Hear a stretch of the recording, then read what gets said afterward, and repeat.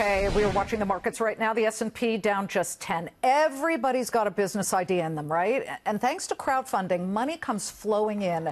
But while it's a boon for startups, it's becoming increasingly difficult to track and trace sometimes misused money. Classic example. It's making a lot of news on the East Coast here. A New Jersey couple in a harsh spotlight after starting a GoFundMe campaign for a Good Samaritan homeless veteran who gave them money for gas when they were stranded without their wallets in Philadelphia.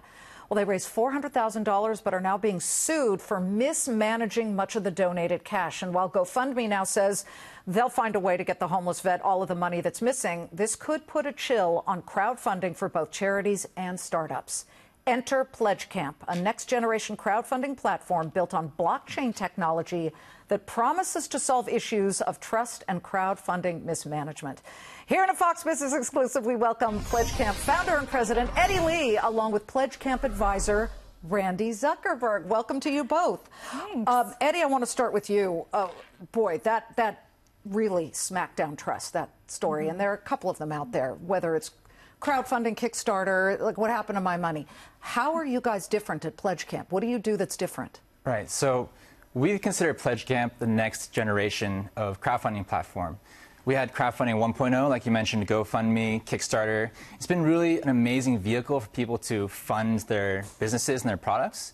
But like you mentioned, there's an accountability problem. It's just not built into the model.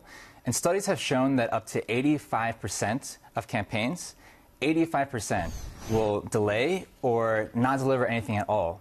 So what we do is we take the best aspects of blockchain and take that to crowdfunding and make crowdfunding 2.0. Okay, for people who've never heard of blockchain, what are the best aspects? I know it's it's a, a, ledger, it's an electronic ledger, a digital ledger that you can follow every step. Are you saying that if it finally comes to the launch of the company and the company goes belly up and it can't make it, what is the recourse there? So there's several benefits to blockchain technology. As you mentioned, there's the ledger, mm -hmm. which lets you have more transparency, more security around who you're sending money to. You can know more about them. What are they using the money for? Exactly. You can see where the money is going. Yeah, but we, we don't want it on the, uh, the, the, the little games and every you know the, the, granola bars for the workers. You want to see your money being spent, right? Right. Exactly. You don't want it on foosball. Right. And the, the, other cool thing that blockchain lets you do is something called smart contracts. So what smart contracts are, they're these software programs that allow two people on the internet to know for sure what the, the terms of their agreement are, to make sure that they'll be enforced without relying on you know, a team of lawyers or a third party. Mm -hmm. This allows people to create trust over the internet. Right. Just like you wouldn't buy a house by just giving all the cash up front, you hold some in escrow so that the developer actually builds the house for you. That's that's what they're doing there. You get a little bit up front, but then the money doesn't get released until the creator is actually making progress on the project. So you have trust. Okay. So I, I look at you. Um, you're an author. You're a mother. You're Mark Zuckerberg's sister. You co- you created Facebook Live on the Facebook platform. You could pick any company to be an advisor. Uh, why this one? Gosh, there's so many reasons. First of all, um, I've backed Eddie and Jay before in other initiatives. They're just incredible entrepreneurs. But also for me, I've been very interested in the crypto and blockchain space for a while. I think it's a space that more women need to get involved in, quite frankly.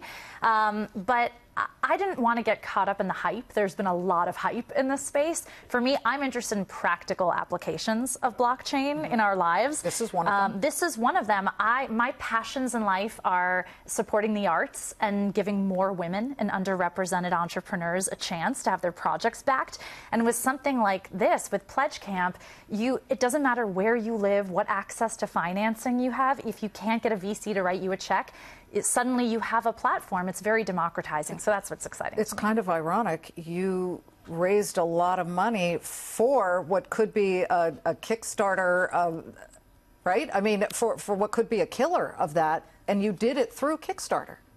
Yeah, I mean, we've done Kickstarter in the past. We've raised, like you mentioned, over $2 million in our experience with crowdfunding, and that's really shown us firsthand, obviously, the benefits, but also the problems. And these pains that we're feeling, that's what we're trying to solve now for other people. Okay, but can I just say, Randi, um, when when you give money to a startup, it's a risk. Venture capitalists know this all too well, don't you? I mean, are you being a little unrealistic, uh, or or Pledgecamp for, you know, the uninitiated to say, oh, I, I believe in this this crazy project, and then it well, goes I think, under. I mean, you when you opened up this segment, you led with exactly what happens. There's so many amazing projects out there, but you give money to the wrong one where someone misuses it, and then suddenly uh, you never want to support a project ever again. You sour on the entire system. That's what what I really love about Pledgecamp is the money doesn't get released with these smart contracts. You feel trust, and it protects both the creator and the backer. Here in a Fox Business exclusive, Randi Zuckerberg and Eddie Lee, the company is called Pledgecamp. It's up and running. It's not up and Not running up and running. When? No. when? I need the when. It's, it'll be up and running summer of 2019. We've partnered up with an amazing design agency that's made some products that you've probably heard of, Slack and Coinbase, and they'll be helping us build and launch this next year. White paper is live though. I was Yes. going to say Yes. the white paper Yes. is going live as soon as they are off the set. Mm-hmm. How can people read that? They can go to pledgecamp.com and they can download our white paper there. Very cool. And he's a Berkeley grad, so he's a guy Go after Bears. my own. Go Bears. Go Cal Bears heart. Great to see you. Good luck. Thank you. Thank you, Liz. Fascinating stuff. Thanks, Randi.